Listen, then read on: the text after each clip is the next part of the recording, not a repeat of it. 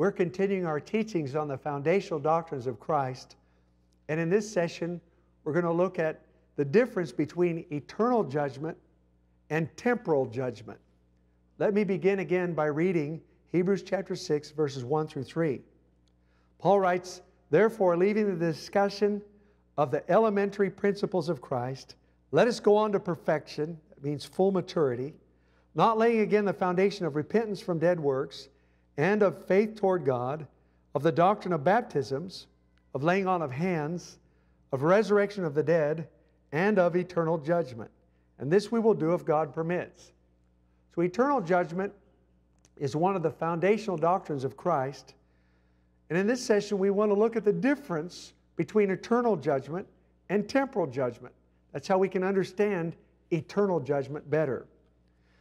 Now, Psalm 96, verse 13, speaks of the Lord. It says, For he is coming. He is coming to judge the earth. He shall judge the world with righteousness and the peoples with his truth. Now, when we hear that, we might think, oh, that's a negative thing or a fearful thing. But actually, judgment is a good thing because judgment stops evil. You see, a good ruler must be a judge, a good governor must have judgment. In, in this city, for example, if we didn't have law enforcement and courts and jails, evil would break out and good people would suffer. So, a good ruler has laws, consequences, penalties, and judgments. And it's out of the goodness of God that God has judgments. Now, temporary judgments are meant to awaken us and turn us from our wrong path and so that we don't suffer eternal judgment. Amen. So when it says the Lord is coming to judge the earth, this is good news. Judging the earth means curtailing evil, intervening, stopping wickedness. Isn't that what we want in the earth? So we want it. It's only bad news if we're sinning. That's why the fear of the Lord is a beginning of wisdom. Psalm 19, verse 9 says, The judgments of the Lord are true and they're righteous altogether. Everything God does is out of a motive of love. Now, in the New Testament, Jesus is revealed in many ways. He's revealed as the good shepherd who laid down his life to redeem his people. He's also revealed as the bridegroom who's calling for a bride to prepare herself for him. He's a lover of our souls. He's the shepherd who laid down his life. But he's also the king. In the Bible, he's the king who sits on the throne. He's also the judge of the living and the dead. So Jesus is the good shepherd, he's the bridegroom, he's the king, he's the judge. We need to know him in many different facets of who He is. If I only focus on He's the bridegroom, He's the shepherd that loves me, I'm not knowing Him as He really is.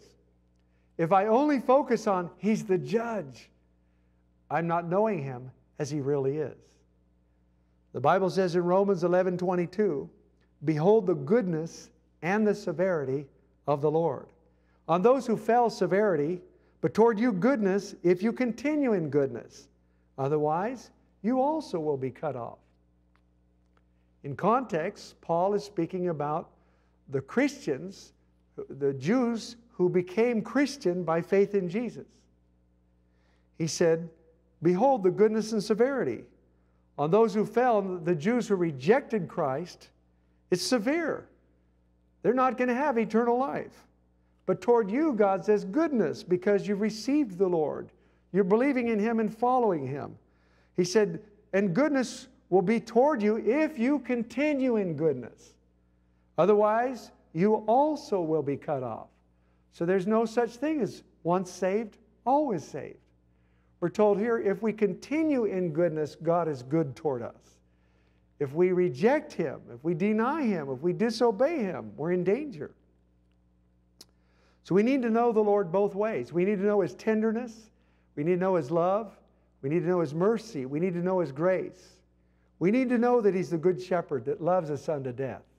and laid down his life for us. We need to know he's the bridegroom who's looking for a bride that will love him back with all of her heart. But we also need to know that he's the judge and the king. Now, as the judge, all things are open and naked before his eyes. Hebrews 4:13 says, There is no creature hidden from his sight, but all things are naked and open to the eyes of him to whom we must give an account. When Jesus had letters sent to the seven churches of Asia Minor, as recorded in Revelation chapter 2 and 3, in each letter, Jesus said, I know your works to one church, Jesus said, All the churches will know that I am He who searches the minds and tests the hearts. Uh, King David wrote, He knows my thoughts from afar. Before I rise, before I sit, He knows. So all things are open and naked before God. In Romans 14, verse 11 and 12, tells us, As I live, says the Lord, every knee shall bow to me, and every tongue shall confess to God. So then each of us shall give an account to God of himself to God. 2 Corinthians chapter 5 verse 9. Therefore we make it our aim whether present or absent to be well pleasing to him for we must all appear before the judgment seat of Christ. What will happen at the judgment seat of Christ? It says that each one may receive the things done in the body. Again, it's not he doesn't want to hear our profession of faith. He wants to know what we actually ended up doing. The deeds we did according to what he's done, whether good or bad. So we're going to be recompensed. We will receive, whether good or bad, what we've done in the body. Knowing, therefore, the fear of the Lord, we persuade men. But we are well known to God, and I also trust are well known in your consciences. So we will all give an account, and in our previous session, we talked about eternal judgment. Let's look at the difference between eternal and temporal judgments. Temporal judgments of God are redemptive in nature. Motivated by love, they're intended to bring correction to us in this life so that we do not continue in error and end up suffering eternal judgment. If we do not take heed to temporal judgments, we may suffer eternal judgments. And eternal judgment can be very devastating because it's eternal. This applies to both believers and non believers alike. There are eternal judgments for those who are saved, but that's for another session. Throughout both the Old and New Testaments, we see the temporal judgments of God released in order to spare God's people from the severity of eternal judgments. Now, I, for one, want God to chasten me. I want God to correct me. I don't want to go through pain, but I would rather have my corrections now than be surprised on Judgment Day. How many would rather have your corrections now? And I think it's a wise prayer to say, Lord, deal with me now, correct me now, show me my blind spots now. I want you to judge me now because when God judges us, He does it in love. He does it with the intention to bring us to the highest good in His kingdom. Let's look at Psalm 107. Begin reading at verse 21. We're going to look at the goodness of God in sending a temporal judgment upon men. Psalm 107, verse 21. Oh, that men would give thanks to the Lord for his goodness and for his wonderful works to the children of men. Let them sacrifice the sacrifices of thanksgiving and declare his works with rejoicing. Those who go down to the sea in ships, who do business on great waters, they see the works of the Lord and his wonders in the deep. So God's saying, let everybody give praise to God for his wonderful works. And here's one of God's wonderful works. When men go down to the sea to do business on the great waters, they see the works of the Lord. For he commands and raises the stormy wind which lifts up the waves of the sea. They mount up to the heavens, they go down again to the depths. Their soul melts because of trouble. They reel to and fro and stagger like a drunken man, and they are at their wits' end. Then they cry out to the Lord in their trouble, and He brings them out of their distress. He calms the storm so that its waves are still. Then they are glad because they are quiet. So He guides them to their desired haven. God guides them to the place they should have been going. God knows best. Oh, that men would give thanks to the Lord for his goodness and for his wonderful works to the children of men. So God is saying that him sending a storm into the life of those who are off course, they're not praying, they're not asking for God's direction. That storm is the wonderful work of God. It is the goodness of God to bring correction and alignment and bring us into the desired haven. Now, the desired haven that God has for us, we may not know what that is right now, but God sees it. God called me at age 21 to preach the gospel. I honestly thought that preaching the gospel would be the last thing I would ever want to do because I didn't know the Lord and I didn't know the gospel.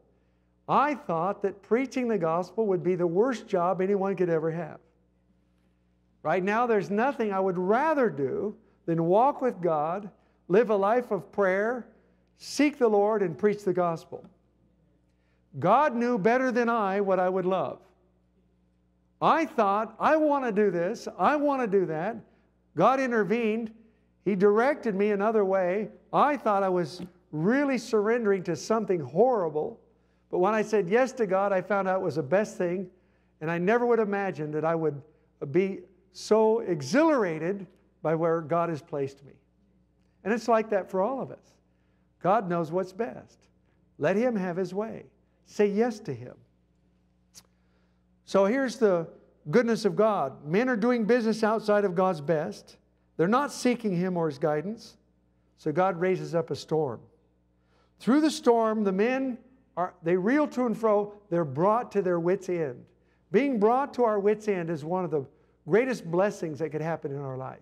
Because when we're brought to our wits' end, in desperation, we call from the bottom of our heart to the Lord. Now, there's a kind of prayer that can come from the neck up, it just comes from our head. Sometimes we pray those prayers when we're distracted. Will someone say grace? Sure. Thank you, Lord, for this food. And our heart's not even engaged. We're saying words. But there's another kind of prayer when we're deep in a storm and it looks like we're not going to make it. It comes from the bottom of our soul. Oh, God, help! And that's the prayer that God answers. Amen. Psalm 119, verse 67, verse 71, and verse 75. The psalmist says, Before I was afflicted, I went astray, but now I keep your word. It is good for me that I've been afflicted, that I may learn your statutes. I know, O Lord, that your judgments are right and that in faithfulness you've afflicted me. See, it's the love of God, it's the goodness of God. Now, Scripture records in 1 Corinthians chapter 11 that some of the Christian believers in the Corinthian church were chastened by God. They ended up with sickness and premature death. This happened because they were not discerning the Lord's body. They didn't recognize or remember that the believers in their congregation are members of the body of Christ and consequently, they mistreated them. Due to their selfishness, they brought judgment upon themselves. You can read this in 1 Corinthians chapter 11. I'm not going to go through the whole thing. But when they gathered together for their love feasts, some of the people that had uh, more money and they were able to bring better food and bring the drinks, they would come earlier and eat all the good stuff. It was sort of like a potluck. And some of the poor people that weren't able to afford to bring the food, they would get there and the food was gone. And the other people that were richer were drunk and filled to the gill with food. They did not discern the other members of the body of Christ. And so God released judgment on them. They became sick and weak, and some even died prematurely. Now, in verse 31, God says, If we would judge ourselves, we would not be judged by God. But when we are judged, it says, 1 Corinthians chapter 11, we are chastened by the Lord that we may not be condemned with the world. Okay? That's in 1 Corinthians chapter 11, verse 31 and 32. God said, if we would judge ourselves, we will not be judged by the Lord. But when we are judged, God is chasing us, chastening us, so that we will not be condemned by the world. So the temporal judgments are the love of God. Amen. Judge me now, Lord. Actually, a better prayer would Lord, help me to judge myself. illuminate me so you don't have to judge me. Hebrews chapter 12, verse 5 through 11 every son or daughter that grows to maturity will have times in their walk with God where they are chastened by the Lord. It happens to everybody. None of us does it perfectly all the time. And because God loves us, He deals with us. We'll read Hebrews chapter 12, verse 5. Paul is writing, he says, And you have forgotten the exhortation which speaks to you as to sons. Now, this applies to daughters also. My son or my daughter, do not despise the chastening of the Lord, nor be discouraged when you are rebuked by him.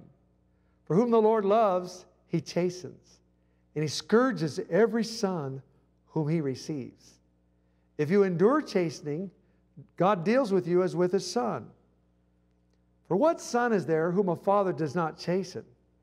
But if you are without chastening, of which all have become partakers, then you are illegitimate and not sons. You can see this sometimes. If you do something, consequences happen in your life. But you can see other people that aren't even Christian and they're getting away with murder and nothing happens because they're not sons. Because God's dealing with you so that you won't suffer the eternal damnation that they're headed to. Okay?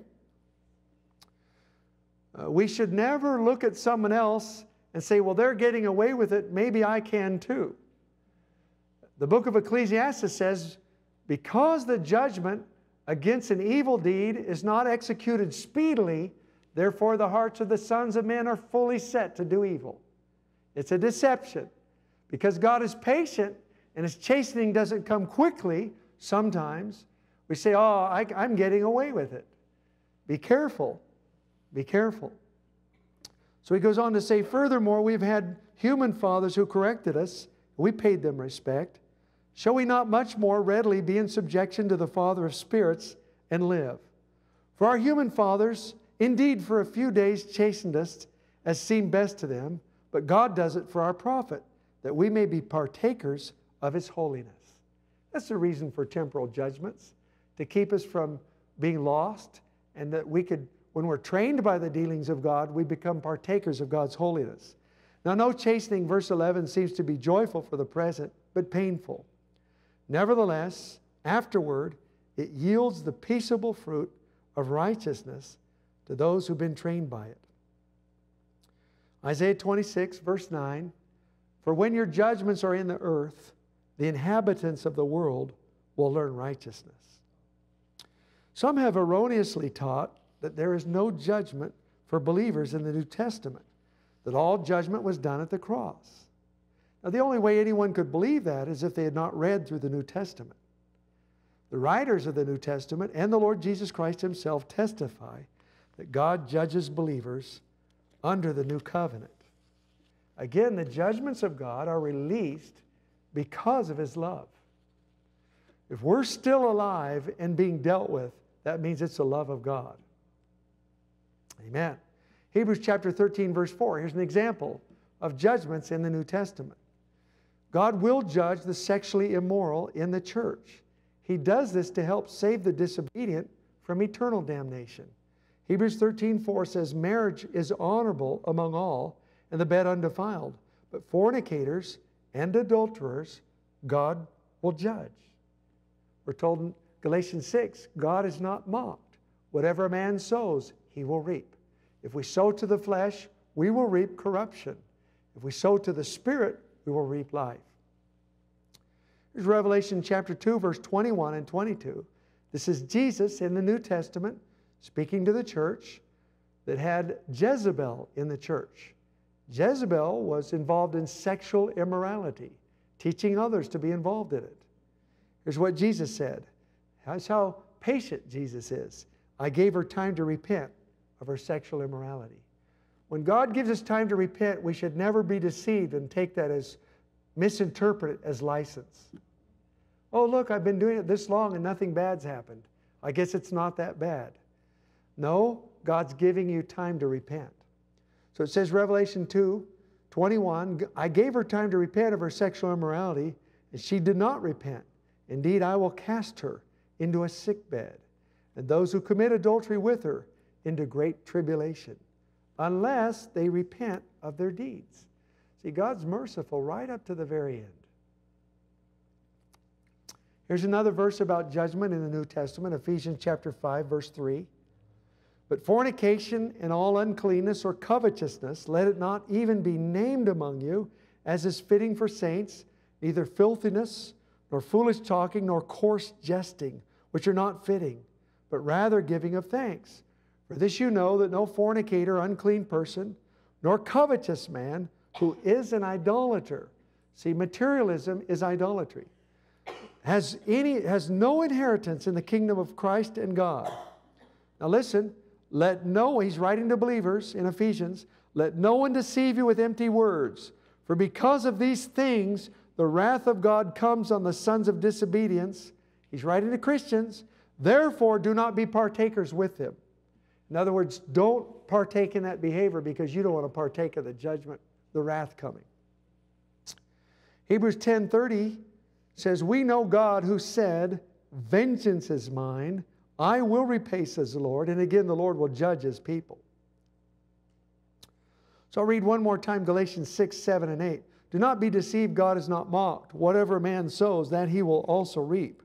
He who sows to his flesh will reap of the flesh corruption. He who sows to the Spirit will of the Spirit reap everlasting life. Let me throw this in there to encourage us.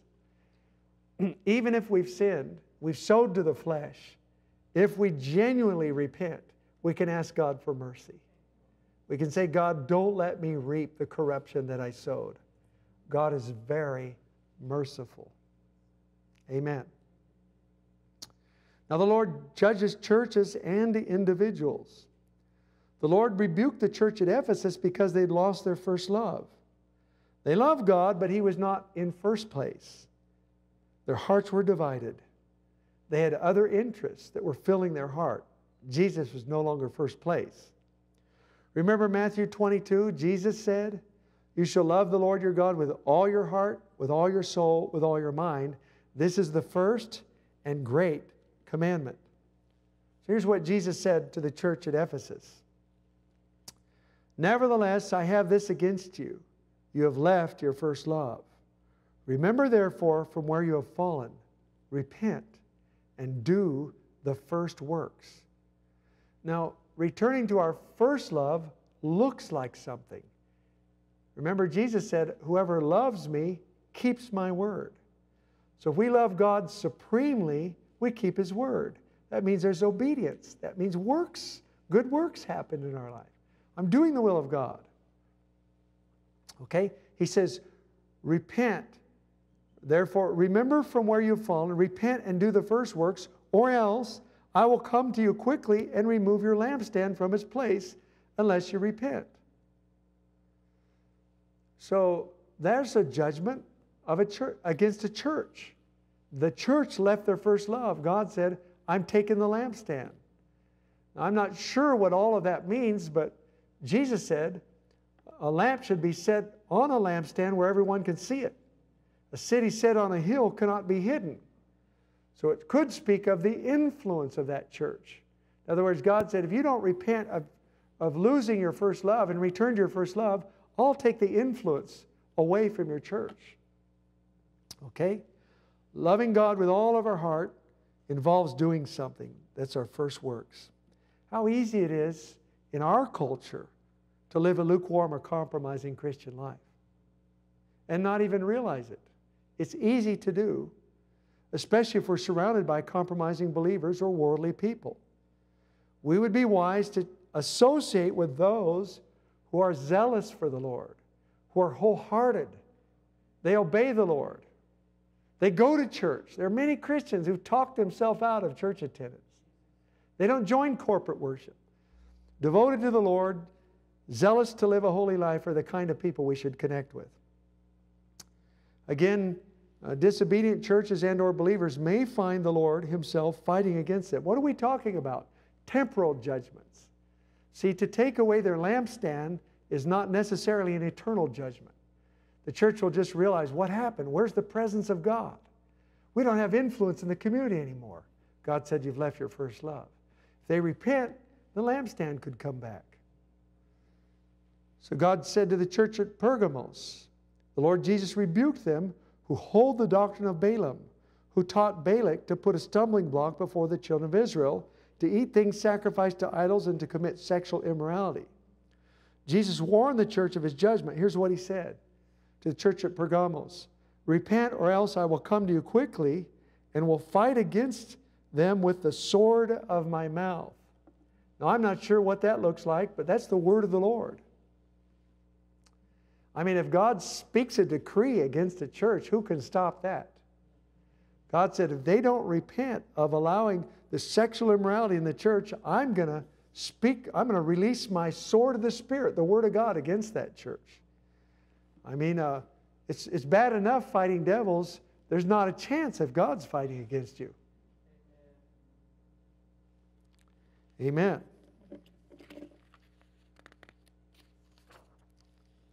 Now, nations will turn to God through his temporal judgments.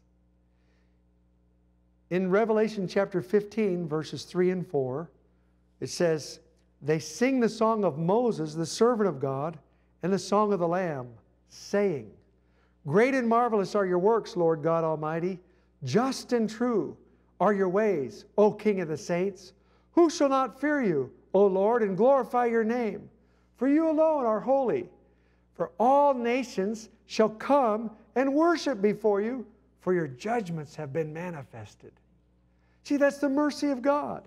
Now, notice it's called the Song of Moses and the Lamb. Why Moses? Because in the days of Moses, God released judgments, He released plagues, He released darkness, He drowned the armies. And in the last days, we know the things that are coming on the earth. Jesus told us There'll be earthquakes and wars and famines. These things that are allowed by God to come are designed to awaken the nations, to save them. It says in Revelation 15, in the last days, all nations shall come and worship God because his judgments, these are temporal judgments, have been manifested. So there's the difference between temporal and eternal judgments.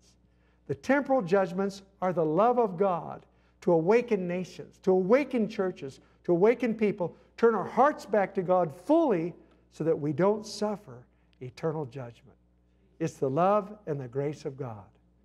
Amen.